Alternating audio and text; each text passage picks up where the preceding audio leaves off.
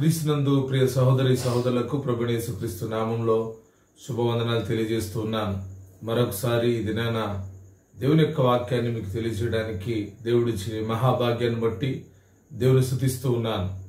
దినాన కీర్తన గ్రంథంలో ప్రాముఖ్యమైనటువంటి కీర్తనను విశేషమైన కీర్తనను అద్భుతమైన కీర్తనను మీకు తెలియచేయాలని ఆశపడతా ఉన్నాను. అది నూట ఇరవై ఎనిమిదో కీర్తన.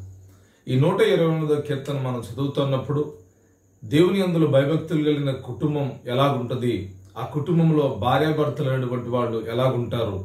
ఆ కుటుంబంలో ఉన్న పిల్లలు ఎలాగా ఉంటారు? అనేటువంటి విషయాన్ని భక్తుడు రాయటం జరిగింది. రాయడమే కాదు ఆ జీవితం కూడా చాలా ప్రాముఖ్యమైంది. రాయబడినలాగా మన కుటుంబాలు ఉన్నట్లయితే నిజంగా మనకు సంతోషం ఆనందం కలుగుతుంది. ఈ కుటుంబం గురించి భక్తుడు చాలా అనుభవపూర్వకంగా రాస్తా ఉన్నాడు. ఈ రాయబడిన కీర్తనలో భార్య గురించేమో ద్రాక్షవల్లి పిల్లల గురించి ఒలివ మొక్కలని చెప్పడం చాలా విశేషంగా కనపడతా ఉంది. రెండు రకాలైనటువంటి ఆశీర్వాదాల గురించి అక్కడ మాట్లాడడం జరిగింది. ఒకటి కుటుంబ ఆశీర్వాదం రెండవది సంఘం యొక్క ఆశీర్వాదం. ఈ రెండింటికి మధ్య వ్యత్యాసాన్ని వివరిస్తూ కుటుంబ వ్యవస్థ అనేటువంటిది ఎలాగ ఉంటుంది అనే విషయాన్ని భక్తుడు తెలియజేస్తూ ఉన్నాడు.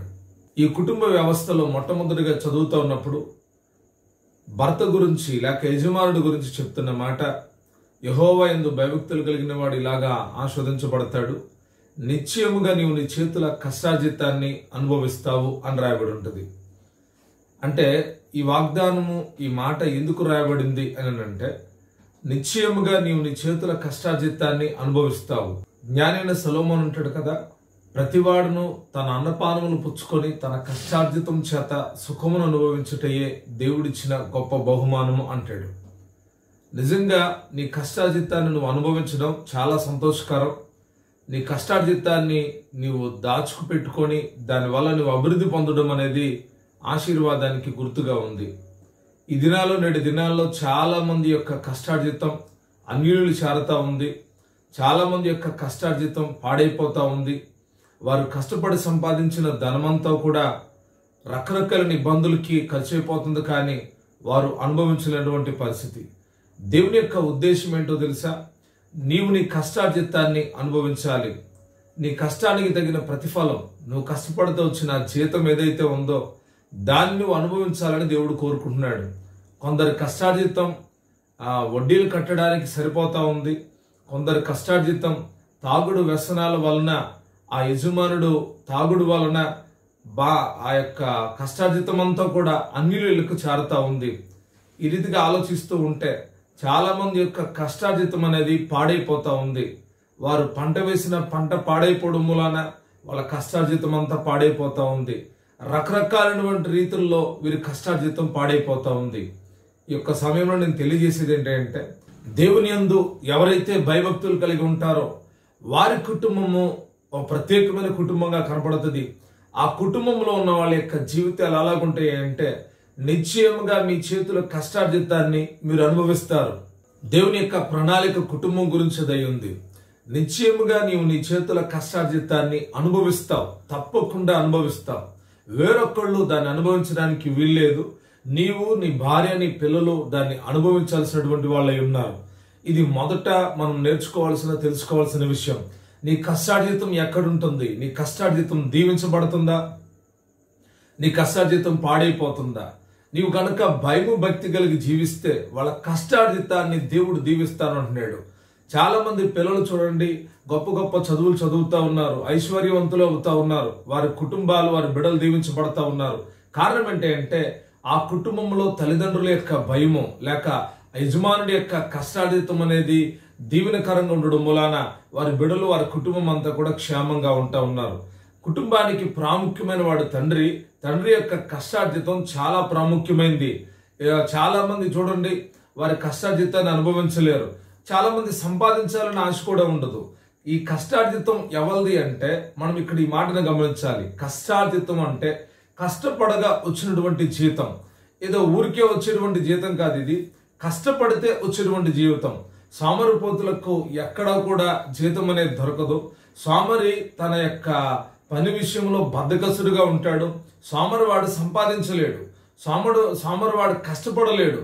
ఎప్పుడు పడుకుందామా ఎప్పుడు పడుకుందామా అనేటువంటి ఆలోచన బద్ధకం వాడిలో ఉంటది మూలాన వాడు సోమరిపోత అవడం మూలాన ఆ కుటుంబం అంతా కూడా శాపాన్ని అనుభవిస్తూ ఉంటుంది. ఆ కుటుంబం అంతా కూడా ఏడుస్తూ ఉంటుంది. ఆ కుటుంబం అంతా కూడా ఆ దిగజారిపోయినటువంటి స్థితిలో కనపడతా ఉంటుంది. కారణం ఏంటంటే ఆ ఆ యజమానుడు కష్టపడినప్పుడు ఆ కష్టార్జితం అనేటువంటిది అక్కడ కనపడదు.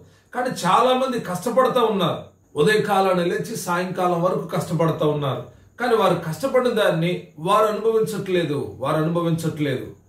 వారు కష్టపడి కష్టపడి సంపాదించిన తర్వాత ఏవో సంథింగ్ ఆరోగ్యపరమైన సమస్యలు రావడం అవన్నీ కూడా తీసుకుని వెళ్ళిపోయి హాస్పిటల్ పెట్టడం చివరికి మళ్ళా చిల్లి లేకుండా ఉండడం లేదా అప్పుల మీద అప్పులు చేయడం చిల్లి లేకుండా బ్రతకడం ఇలా జరుగుతూ ఉంది. క్రీస్తునందు ప్రియ సహోదరి సహోదరులారా ప్రభు పేరటనే తెలియజేసేది ఏంటి అంటే మీ కష్టార్జితం దీవించబడాలంటే మీరు దైవికమైనటువంటి భయభక్తులు కలిగి జీవించాలి. దేవుని అందరి భయభక్తులు మీకు మీ కష్టార్జితాన్ని అభివృద్ధి చేసుకోవడం ఎలాగో నేర్పుతాయి. భయభక్తులు ఏమి నేర్పుతాయి అంటే నీ కష్టార్జితాన్ని నీవు అనుభవించినట్టుగా చేస్తాయి. రెండవదిగా చదివితే నీ లోగిట నీ భార్య ఫలించు ద్రాక్షావలి వలె ఉండును అని రాయబడి ఉంది. ఎందుకు ఈ మాట కీర్తనకారుడు రాస్తా ఉన్నాడు? నీ ఇంట్లో నీ భార్య ఫలించు ద్రాక్షావల్లాగా ఉంటది అని రాయబడి ఉంది.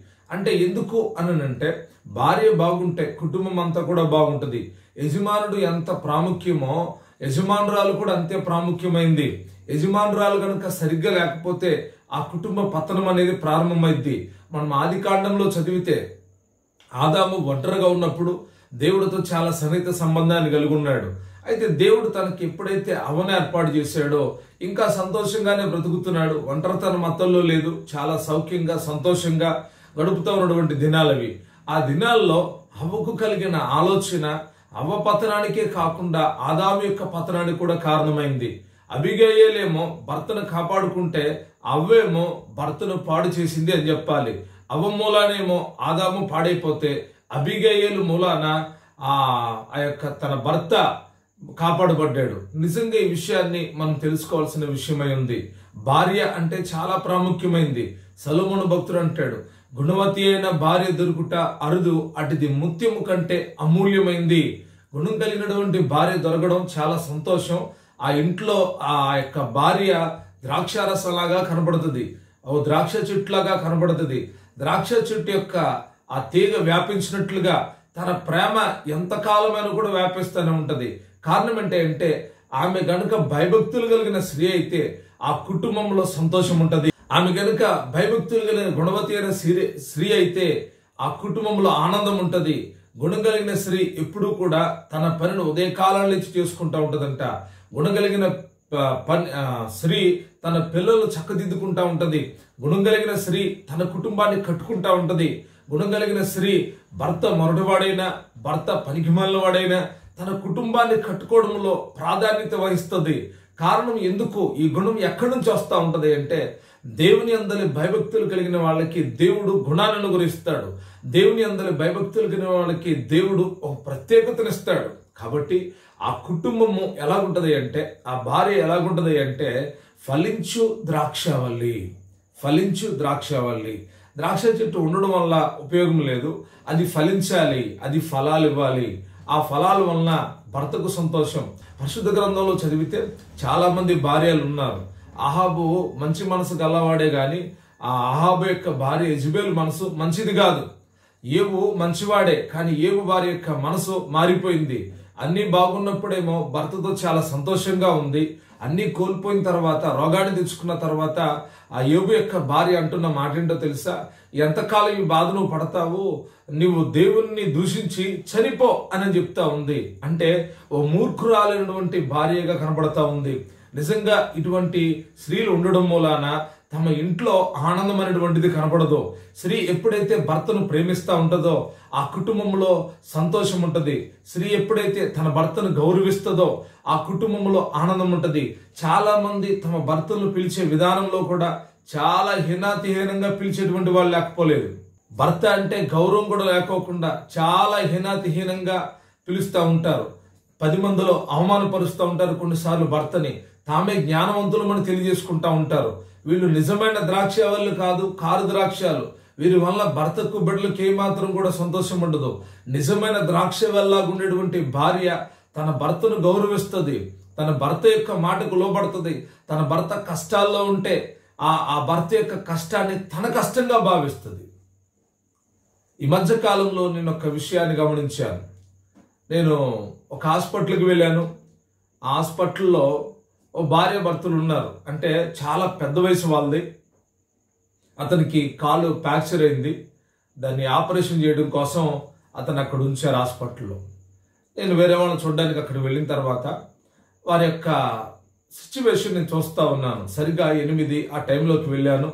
సాయంకాలం రాత్రికాలం ఎనిమిది ఆ టైంలో వెళ్ళినప్పుడు ఆ భార్య ఆ తల్లి అనాలి. భార్య కాదు తల్లి ఆ తండ్రికి ఆ తండ్రి ఇసుకుంటా ఉంటున్నాడు. కానీ ఆమె ఏం చేస్తుంది అంటే అన్నాన్ని కలిపి ఒక ముద్ద తాను తింటుంది ఒక ముద్ద తన భర్తకు పెడుతుంది. ఒక ముద్ద తన భర్తకు పెడుతుంది ఒక ముద్ద తాను తింటా ఉంది. నా కళ్ళల్లో నీళ్ళు తిరిగినాయి. నిజంగా ఈ వయసులో ఇంతగా ప్రేమించగలిగిన భార్య భర్తలు ఉన్నారా? ఇంత ప్రేమ కలిగినటువంటి వాళ్ళు ఉన్నారా? భర్త ఇసుకించుకుంటున్నాడు. నేను పక్కంటి వాళ్ళని అడిగాను. ఈమె ఎలాగుంటుందని. అమ్మో అతను రాక్షసుల్లా అంటాడు. అతను బాగా హింస పెడుతున్నాడు ఆమెని. కానీ ఆమె ఉందంటే గ్రేట్ అని అంటా ఉన్నారు. నిజంగా అటువంటి తల్లులు లేకపోలేదా? నిజమే. అటువంటి తల్లులు ఉన్నారు కాబట్టే చాలా మంది పురుషులు క్షేమంగా ఉన్నారు. అటువంటి స్త్రీలు ఉండడం మూలానే చాలా మంది భర్తలు క్షేమంగా ఉన్నారు ఆరోగ్యంగా ఉన్నారు. నేటి కాలంలో మనం ఎలాగున్నామో ఒకసారి పరీక్షించుకోవాలి. ప్రతి స్త్రీ కూడా తన భర్తకు సంతోషాన్ని ఇచ్చే వ్యక్తిగా ఉండాలి. ప్రతి స్త్రీ కూడా ఫలాలు ఇచ్చేటువంటి వ్యక్తిగా ఉండాలి. నీ ఫలం చూసినప్పుడు పులుపు నీలో కనబడకూడదు. నీ ఫలం చూసినప్పుడు తీయదనం కనపడాలి. మాధుర్యం కనపడాలి. ద్రాక్ష రసములో మాధుర్యం ఉంటుంది. అట్టి మాధుర్యాన్ని చూపించగలిగిన ఆ ధన్యత దేవుడు భార్యగా నీకు అనుగ్రహించాడు. కాబట్టి నీ మాటల్లో నీ ప్రవర్తనలో మాధుర్యం కనబడినప్పుడు భర్తకి పిల్లలకి చాలా ఆశీర్వాదంగా ఉంటుంది ఆ భార్య. రెండోదిగా మనం గమనించినప్పుడు భయభక్తులు కలిగినటువంటి భార్య ఫలించు ద్రాక్ష వల్లగా ఆ ఇంట్లో ఉంటుంది. ఆ ఇంట్లో ఉన్న వాళ్ళందరికీ మాధుర్యాన్ని ఇస్తుంది. కోపాన్ని తెప్పించదు. ఆ ఇంట్లో ఉన్న వాళ్ళని ఒక పవిత్రమైనటువంటి మార్గంలో పరిశుద్ధమైన మార్గంలో నడపడానికి మార్గదర్శి అయి ఉంటుంది. మూడోదికి కుటుంబ వ్యవస్థలో మనం చదువుతా ఉన్నప్పుడు మూడోదిగా బిడల విషయాన్ని దేవుడు అక్కడ రాయిస్తూ ఉన్నాడు. ఇదిగో నీ బల్ల చుట్టూత నీ పిల్లలు ఒలివ మొక్కల్లాగా ఉంటారు. పిల్లలు అన్నాడు స్త్రీలు పురుషులు లేకపోతే బాలురు బాలికలు అని రాయలేదు కానీ నీ బల్ల చుట్టూత నీ పిల్లలు ఒలివ మొక్కలాగా ఉన్నారన్నారు. అంటే ఒలివ మొక్కలాగా అని ఎందుకు దేవుడు పలికించాడు? చాలా మొక్కలు ఉన్నాయి కదా సువాసనిచ్చే మొక్కలు ఉన్నాయి అందాన్నిచ్చే మొక్కలు ఉన్నాయి ఎత్తుగా పెరిగేటువంటి మొక్కలు ఉన్నాయి చాలా సంతోషాన్ని కలిగించే మొక్కలు కూడా ఉన్నాయి. మరి ఎందుకు దేవుడు ఒలివ చెట్టు గురించి అలాగే మాట్లాడాడు అంటే ఒలివ చెట్టుకు చాలా విశేషత ఉంది. ఒలివ చెట్టు బైబిల్ గ్రంథంలో చాలా ప్రాముఖ్యమైంది. ద్రాక్ష చెట్టు చాలా ప్రాముఖ్యమైంది. ఒలివ చెట్టు కూడా చాలా ప్రాముఖ్యమైంది. భార్యాభర్తలు ఉండడం వలన ఏమి అంత ఆ కుటుంబ వ్యవస్థలో సంతోషం కనపడదు. అది వారిద్దరికి మాత్రమే ఉంటుంది. ఎప్పుడైతే బిడ్డలు కలుగుతారో వాళ్ళు ఇద్దరైనా వాళ్ళు ముగ్గురైనా వాళ్ళు నలుగురైనా వాళ్ళు ఎప్పుడైతే కలుగుతారో వాళ్ళు కలిగిన పుట్టిన నాటి నుండి కూడా ఆ ఇంట్లో ఒక రకమైనటువంటి ఆనందం ప్రారంభమవుతుంది. బాధ్యతలు ప్రారంభమవుతాయి. ఇంకా చెప్పాలి అంటే గొప్ప సంతోషం కలుగుతూ ఉంటుంది నవ్వు కలుగుతూ ఉంటుంది. నిజంగా ఇది చాలా విశేషకరమైనటువంటి విషయం. బిడ్డలు లేని వాళ్ళు ఎంతో బాధపడతా ఉంటారు కదా. తమకు బిడ్డలు లేకపోయినా మా తాము సంపాదించుకుంటా ఉన్నా అయ్యో మాకు ఒక కుమారుడని ఉంటే బాగుండు మాకు ఒక కుమార్తెను ఉంటే బాగుండు అని అనుకుంటా ఉంటారు. కారణం ఎందుకు అనుకుంటారు వాళ్ళంటే కుటుంబంలో కుటుంబ వ్యవస్థ అంటే భార్య భర్తలు మాత్రమే కాదు బిడలు కూడా చాలా ప్రాముఖ్యమైన వాళ్ళు. బిడ్డలు సరైన రీతిలో పంచకపోతే ఆ బిడ్డలు భ్రష్టులు అయిపోయేటువంటి ప్రమాదం ఉంటుంది. బిడ్డలు సరైన రీతిలో కనుక నడిపించకపోతే ఆ బిడ్డలు వ్యభిచారులుగా మారేటువంటి అవకాశం ఉంటుంది. బిడ్డలు కనుక సరైన త్రావలో నడిపించకపోతే ఆ బిడ్డలు త్రాగుబోతులుగా మారేటువంటి అవకాశం ఉంటుంది. ఏలి మంచి దైవజనుడు కానీ తన బిడ్డలు అంత మంచి వాళ్ళు కాదు. వాళ్ళు భ్రష్టులు వాళ్ళు భయంకరులు వాళ్ళు వ్యభిచారులు. నిజంగా భక్తి గల కుటుంబాల్లో భక్తి లేని పిల్లలు కనపడతా ఉన్నారా? చాలా మంది కనపడతా ఉన్నారు. చాలా మంది అనుకుంటారు మా భక్తి చాలే వాడు మాట వినడు ఆమె మాట వినదు అంటారు. ఎందుకు ఆ మాట అంటారో తెలియదు కానీ తల్లిదండ్రులకి బిడ్డలు ఎప్పుడైతే లోబడి బ్రతుకుతారో ఆ బిడ్డలు ఆశీర్వాదకరంగా మా- మారుతారు. తల్లిదండ్రుల యొక్క మాటకు విధేయులైన పిల్లలు దీవించబడతారు. దేవుడికి విధేయైన పిల్లల్ని దేవుడు దీవిస్తాడు. అలాగే ఈ తల్లిదండ్రులు ఏ తల్లిదండ్రులు అయితే దేవుడి యొక్క భయభక్తులు కలిగి ఉన్నారో వారికి విధేయులైన పిల్లల్ని కూడా దేవుడు దీవిస్తాడు. ఎలాగ దీవిస్తాడంటే వలివ మొక్కల్లాగా దేవుడు దీవిస్తాడు. నేటి కాలంలో గమనిస్తే చాలామంది పిల్లలు తల్లిదండ్రుల యొక్క మాటలు వినట్లేదు. చాలామంది పిల్లల విషయంలో తల్లిదండ్రులకు వేదన కలుగుతూ ఉంది. అయ్యా నా పిల్లోడు మాట వింటలేదయ్యా. వాడు తన ఇష్టానుసారంగా బ్రతుకుతున్నాడు. తన ఇష్టం వచ్చినట్టు బ్రతుకుతా ఉన్నాడు అనేటువంటి కంప్లైంట్స్ చాలా ఉన్నాయి. ఎందుకు కారణం అంటే అంటే నీవు భయభక్తులు కలిగిన వ్యక్తివైతే నీ భర్త నీవు భయభక్తులు కలిగిన కుటుంబం అయితే నీ పిల్లలు దైవికమైన భయంలో పెరుగుతారు. వారు నీ బల దగ్గర కూర్చున్నప్పుడు నీ చుట్టూతా ఉన్న ఒలివ మొక్కలాగా కనబడతారు. అంటే అర్థం ఏంటి అంటే ఒలివ చెట్టులో ఉన్నటువంటి గుణాలు సౌందర్యవంతమైంది ఒలివ చెట్టు. మొదటిగా ఒలివ చెట్టు చాలా అందమైంది సౌందర్యం కలిగింది. అంటే నీ పిల్లలు నల్లగా ఉన్నారా ఎర్రగా ఉన్నారా తెల్లగా ఉన్నారా కాదు. దేవుడిచ్చేటువంటి సౌందర్యం గొప్పది. ఆ సౌందర్యం ఎదుట ఎవరు కూడా నిలబడలేదు. దేవుడు ఏబుతో పాటు ఏబు పిల్లలకి గొప్ప ఆశీర్వాదాన్ని సౌందర్యాన్ని ఇచ్చాడంట.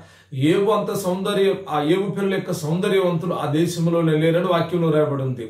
దేవుడిచ్చేటువంటి సౌందర్యం వేరు. అది దైవికమైనటువంటి సౌందర్యం. అది మనుషులు అందరికీ ఆకర్షితులు కారు. కానీ ఎవరైతే ఆత్మీయులకు కనబడతారో వాళ్ళకి కనబడతారు వాళ్ళు ఎంత సౌందర్యవంతులో. రెండోదిగా వలివ చెట్టులో ఉన్నటువంటి గుణం ఏంటంటే వలివ చెట్టుకు నూనె తీసి ఆ నూనెని చాలా స్వస్థత కోసం వాడిన సందర్భాలు చాలా ఉన్నాయి. అంటే మన పిల్లలు మన కొరకే కాదు అనేకుల కొరకు ఉపయోగపడాలి. అనేకుల కొరకు మన యొక్క పిల్లలు ఉపయోగకరంగా మారాలి. ఒలివ చెట్లో ఉన్నటువంటి ఆ చక్కటి గుణం అది మూడోదిగా ఒలివ చెట్లో ఉన్నటువంటి గుణం ఆ నూనెని పరిశుద్ధ స్థల పరిశుద్ధ స్థలములో ఉన్నటువంటి దీపవృక్షాన్ని వెలిగించడానికి ప్రతిరోజు అచ్చం దంచి తీసిన వలివరును నూనె పొయ్యమని వాక్యంలో రాబడి ఉంది. అంటే నీ పిల్లలు లోకంలో ఉన్న ప్రజల కోసమే కాదు దేవుని యొక్క సేవలో కూడా నీ పిల్లలు ఉండాలి. నీ పిల్లలు దేవుని యొక్క సేవ కూడా చేయాలి. కేవలం లోకానికి మాత్రం ఉపయోగపడటం కాదు ఇతరులకు సహాయం చేసే పనిలోనే కాదు దేవుని యొక్క పనిలో కూడా నీ పిల్లలు ఉండాలనేది దేవుడి యొక్క ఉద్దేశమై ఉంది. దేవుని యొక్క ప్రణాళిక ఉంది. ఆ తర్వాత ఇంకొక విషయాన్ని వలివ చెట్లో మనం గమనిస్తే నవా కాలంలో జలప్రళయం వచ్చి అంతా కూడా మునిగిపోయింది. మొట్టమొదటిగా నవాహు ఆ యొక్క జలప్రళయం తర్వాత త్రంచబడిన ఒలివ ఆకును చూస్తా ఉన్నాడు. పావురాన్ని విడిచిపెట్టినప్పుడు పావురము త్రంచబడిన ఒలివ ఆకును తీసుకొచ్చిన విషయాన్ని మనం గమనించాలి. అంటే ఎన్ని జలప్రళయాలు వచ్చి ముంచివేసిన నీ బిడలు సజీవంగా ఉంటారు. భయభక్తులు కలిగిన కుటుంబంలో ఉన్న పిల్లలు ఎప్పుడు కూడా వాళ్ళు చనిపోరు. నిత్యము పరలోకంలో కూడా బ్రతికే ఉంటారు. ఈ విషయాన్ని మనం గమనించాలి. ఈ లోకపు శ్రమలు అనదగినవి కావు. ఒకనొక దినాన్ని మనం అందరం కూడా ఆయన సంధికి చేరవలసినటువంటి వాళ్ళమై ఉన్నాం. అయితే మన వంతు మనం గమనించాల్సింది తెలుసుకోవాల్సిన విషయం ఏంటంటే మనము మన పిల్లలమందరము కూడా దేవుని రాజ్యానికి చేరాలి. ఈరోజు నేను చెప్తే నీ వాక్యం ఆశీర్వదించబడిన ఈ కుటుంబం ఎలాగుందో మన కుటుంబం కూడా ఆ విధంగా మారాలని ప్రభుపేట నేను కోరుకుంటూ ఉన్నాను. క్రీస్తునందు ప్రియ సహోదరులారా ఈ కుటుంబం ఇలా కట్టబడడానికి కారణం వీరు దేవుని యందు భయము భక్తి కలిగి జీవించిన వాళ్ళై ఉన్నారు. వీరు దేవుని యందు భయభక్తులు కలిగి జీవించిన వాళ్ళై ఉన్నారు. మన పిల్లల విషయంలో కానీ మన కుటుంబ విషయంలో కానీ మనం చాలా జాగ్రత్త కలిగి ఉండాలి. కేవలం మనం మాత్రమే భక్తి చేస్తూ నేను పెద్ద అయిపోయాను నేను చిన్న నేను పెద్ద వయసు వచ్చేసింది నా పిల్లలు ఆ మాట వినరు అని అనుకోకూడదు. ఎప్పుడు కూడా పిల్లల్ని దైవికమైన మార్గంలో పెంచేటువంటి బాధ్యత తల్లిదండ్రులదై ఉంది. ప్రతి క్షణం కూడా పిల్లల యొక్క సమాచారాన్ని తెలుసుకోవాలి పిల్లల యొక్క క్షేమాన్ని తెలుసుకోవాలి పిల్లలు ఏ పరిస్థితుల్లో ఉన్నారో తెలుసుకొని వారిని గనక జాగ్రత్తగా పెంచగలిగితే వారు దేవుని మహిమ కొరకు లోకంలోనూ దేవుని కొరకు వాడబడేటువంటి పిల్లలుగా ఉంటారు. కేవలం లోకములో లోకాశల వైపు నీ పిల్లపారు దేవుని కొరకు నిలబడతారు. దేవుని కొరకు అబ్రహాము కుమారుడైన ఇసాకు వలె నీ దేవుని పిల్లలు దేవు దేవుని కొరకు నీ పిల్లలు నిలబడతారు. ఈరోజు నేను తెలియజేసే విషయం అదే. మీరు కనుక దేవుని ఎందు భయభక్తులు కలిగి ఉంటే మీ కుటుంబం ఎలాగ దీవించబడుతుంది? నీ కష్టార్జితాన్ని నువ్వు అనుభవిస్తావు. నీవు భార్యవైతే నీ కుటుంబానికి మాధుర్యం ఇచ్చినటువంటి ఆ తల్లిగా ఉంటావు. రెబకా గురించి నువ్వు వేవేలకు తల్లి అవుతావు ఆ యొక్క మాధుర్యం మనం ఇచ్చేటువంటి వాళ్ళంగా కనబడాలి. గయాళిలాగా ఉండకూడదు. ఆ గప్పాల మారిలాగా ఉండకూడదు. గుణవతి అయిన భార్యలాగా ఉదయకాలం లేచి గుణవతి అయిన భార్య తన పని చేసుకున్నట్టుగా అన్ని విషయాల్లో భర్తకు సహకరించి లోబడినట్టుగా గుణవతి అయిన భార్యగా ఉండడానికి ఇష్టపడండి. మూడోదిగా పిల్లల గురించి ఓ ప్రత్యేకమైన శ్రద్ధ తీసుకొని పిల్లల గురించి ఒక ప్రత్యేకమైనటువంటి ఆలోచన కలిగి మనము ముందుకు కొనసాగుదాం. దేవుడు ఈ వాక్యం ద్వారా మీ కుటుంబాన్ని కట్టి ఆశీర్వదించి ఆయన రాకుడు కొరకు సిద్ధపరచునుగాక. ఆమె